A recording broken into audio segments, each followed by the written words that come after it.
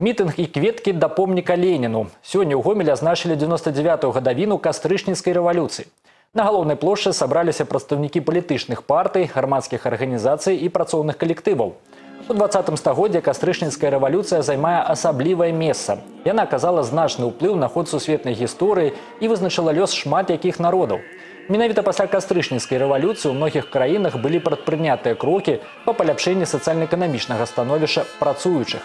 Ідэалы міру, раўнапраўя, сацыяльныя гаранты савецкіх часоў не страцілі сваёй актуальнасці і зараз. Нельга адмаўляць і поспехі савецкага саюза ў прамысловасці, сельскай гаспадарцы, касманаўтыцы, навуцы, культуры і спорце.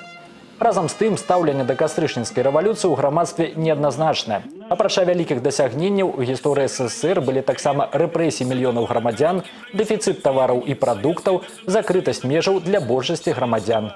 Я отношусь э, к истории очень осторожно. Ее нужно объективно воспринимать и брать из нее только лучшее и развиваться дальше. То есть должен действовать принцип созидания. Самое главное, необходимо, даже если были ошибки, относиться к ним э, объективно, не оправдывать, а сделать так, чтобы они не повторялись дальше в истории.